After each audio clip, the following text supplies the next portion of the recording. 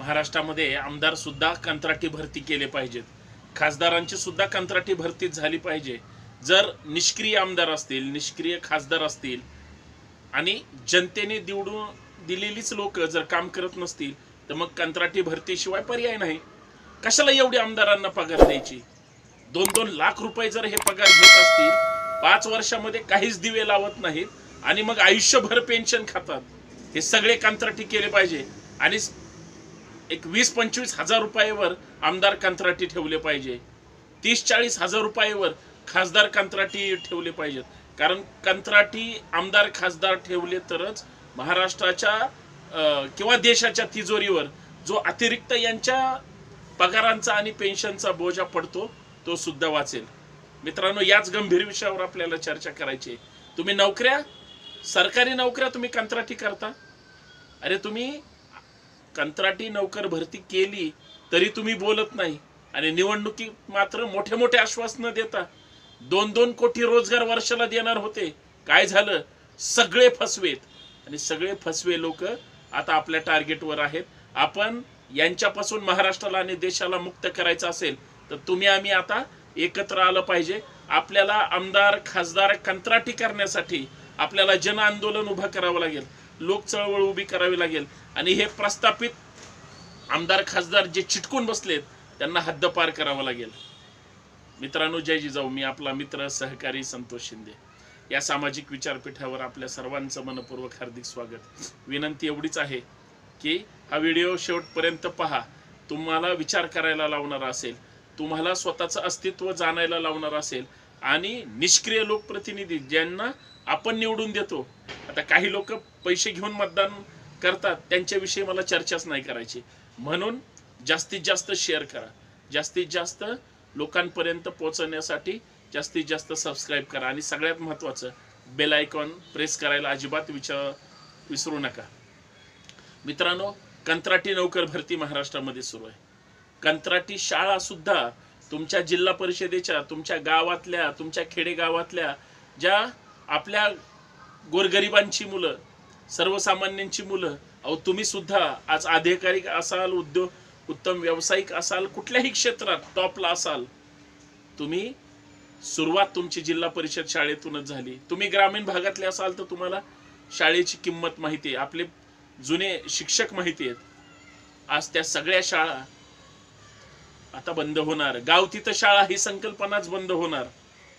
आणि एक ते वीस पटसंख्या असणारी शाळा बंद झाल्यानंतर समूह शिक्षण सुरू होणार. म्हणजे तुमची ह्या गावातली पोरं परत चालत जाऊन दुसऱ्या शाळेत जाऊन शिकणार दुसऱ्या गावात जाऊन शिकणार. ही शिक्षण पद्धती आमच्या महाराष्ट्रातली. आणि शाहू महाराजांनी एक आदेश काढला होता ज्याला शंभर वर्ष मागच्या दोन चार दिवसापूर्वी पूर्ण झाले. जर तुमचा मुलगा शाळेत नाही पाठवला तर तुम्हाला दंड आकारला जाईल. हे सक्तीचं शिक्षण शाहू महाराजांनी लोकांसाठी केलं होतं. आम्हाला अपेक्षित आहे. आम्ही नुसतं फुले शाहू आंबेडकरांची नावं घेतो शिवाजी महाराजांचं नाव घेतो त्यांच्या विचारांनी काम करत नाही. महाराष्ट्र आणि महाराष्ट्रात सरकार सुद्धा करत नाही. राज्यामध्ये बेरोजगारांच्या आणि बेरोजगार तरुण तरुणींच्या आयुष्याशी खेळण्याचा सुद्धा प्रकार सध्या सुरू आहे. कारण महाराष्ट्रामध्ये इथून पुढं सरकारी नोकर भरती होणार नाही. तर ती कंत्राटी होणार. अरे हे कसलं सरकार आहे? हे जुलमी सरकार आहे. हे तरुणांच्या करिअरशी भावनांशी त्यांच्या भविष्याशी खेळणारं हे सरकार आहे. हे सरकार उलटून टाकलं पाहिजे. साध्या भाषेत मला प्रचंड वेदना होतात म्हणून बोलावं लागतं. सरकार कुणाचंही असू द्या. सरकारमध्ये कुणीही असू द्या. ते जर तुमच्या माझ्या आपल्या हिताचे नसतील तर? बर कंत्राटी भरती नोकर भरती करणार. त्याच्या नऊ एजन्सी स्थापन केल्या. त्या कुणाच्या आहेत? तुम्ही जर विचार केला तर लक्षात येईल तुमच्या त्या सगळ्या ह्यांच्या सत्ताधारी आमदारांच्या आणि त्यांच्या जवळच्या बगल बच्च्यांच्या आहेत चेले चपाट्यांच्या आहेत. हीच लोक ठरवणार कुणाला कामावर घ्यायचं ते. मग ही लोक कुणाला घेणार? जे संघदक्ष करतात जे गल्ली बोळा चड्ड्या घालून संघाचं काम करत असतील भाजपचं काम करत असतील अशाचीच भरती करणार. सर्वसामान्यांना नोकऱ्या लागणार नाहीत. मग त्यांनी उद्ध्वस्त व्हायचं का? मग याच्यावर आपण चर्चा करायची नाही का? बरं हे सगळे निर्णय कोण घेतात तर आमचे आमदार घेतात. भविष्यात केंद्रात सुद्धा हीच परिस्थिती होईल. तिथं निर्णय कोण घेतात? आमचे खासदार घेतात. मग एकदा होऊन जाऊ द्या सर सगळं तुम्ही आमच्या हक्काचं हिरावून घेताय ना मग तुमच्या पण हक्काचं हिरावून घेतलं पाहिजे. असं महाराष्ट्रातली जनता का म्हणत नाही? पाचशेच्या वर देशात खासदार आहेत. दोनशे ऐंशीच्या वर विधानसभेत आमदार आहेत.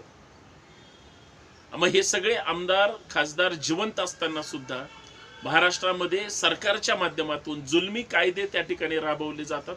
कुठल्याही आमदाराला राग येत नाही. मग एक काम करून टाका ना. आमदारांचीच कंत्राटी भरती करून टाका. खासदारांची सुद्धा कंत्राटी भरती करून टाका. पाच वर्ष तुम्ही बॅनर लावून लावून तिकडे थोबाड दाखवून दाखवून मतदारसंघातल्या लोकांना मूर्खात काढता. काम तर काहीच करत नाही. कुठेही उलट काम सुरू असलं एखादा प्लांट आला एखादी कंपनी आली टक्केवारी खाण्यासाठी आणि तुमचे गुंड लगेच तिथं जाऊन तो हप्ते वसुली करण्यासाठी जे ॲक्शन मोडवर असतात असे आमदार नंतर एकतर पाच वर्ष त्यांना दीड दोन लाख रुपये त्यांना पगार आणि लगेच पाय उतार झाले पडले तर लगेच त्यांना लाख दीड लाख रुपये पगार. हे धंदेच बंद करून टाका. हीच परिस्थिती खासदारांची दोन अडीच लाखाच्या वर ह्यांना आहे. दोन दोन लाख पेन्शन ह्यांना.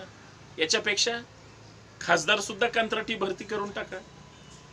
दहावीस हजार रुपयात आमदार ठेवा कामाला. जर तो निष्क्रिय निघाला तर लगेच कंत्राटी सहा महिन्याने आमदार बदलू. सहा महिन्याने खासदार सुद्धा बदलला गेला पाहिजे. का होऊ नये असं? नाहीतर आमदारांच्या आणि खासदारांच्या पेन्शन सुद्धा बंद करा. दिल्लीमध्ये देशभरातले लाखो लोक कायमस्वरूपी पेन्शनसाठी तिथं रस्त्यावर आले.